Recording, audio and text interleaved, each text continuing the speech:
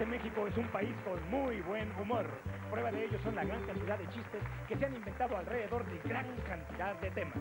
Como nosotros pensamos, un país con buen humor siempre será un mejor lugar para vivir.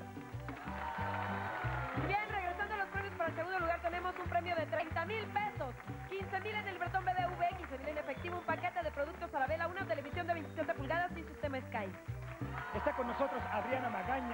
proveniente de la hermosa ciudad de León, Guanajuato. Adelante, bienvenida.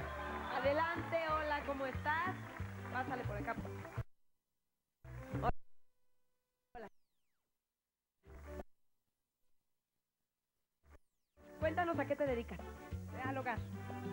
Ama. Es muy difícil el hogar.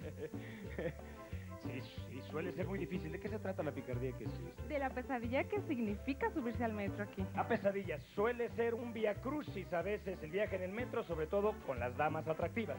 Vamos rápidamente con la opinión de nuestra gente. Vamos. ¡Vámonos! Oiga, señor, ¿qué opina del metro? El metro es un transporte muy eficiente. Es rápido y barato. Entonces hay apachurrones y hay de todo en el metro, ¿no? Me han agarrado las pompis.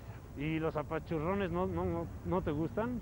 No, pues no, ¿a quién le van a gustar? ¿Qué opinas tú que en el metro, por el mismo precio, te dan pasaje, masaje y agasaje?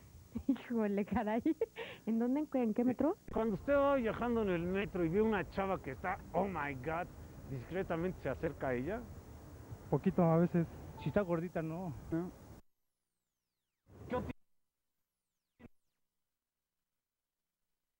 Metro. El metro de París es bellísimo. No, hombre, el de México, estamos en México. El de México. No, ¿sabes qué onda? El de México es como un club privado, o sea. ¿Por qué? Porque, fíjate, tienes sauna, te dan masaje. Y luego a la salida te venden souvenirs, güey. O sea, loquísimo. Quiero aclarar que yo no he estado ahí, me han contado. Y sabes qué también dicen que huele a. Hombre, huele como a caldo de indio. Y a todos usted huele muy bien. Yo huelo a lavanda. Pues déjenme decirle que uno de los músicos se le acaba de morir. Ay, qué naco. Les presento al interventor de gobernación, licenciado Guillermo García Montaño, que dará fe de la legalidad de este programa.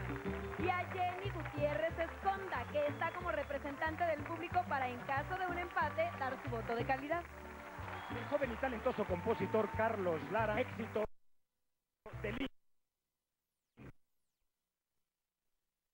Gira, gira.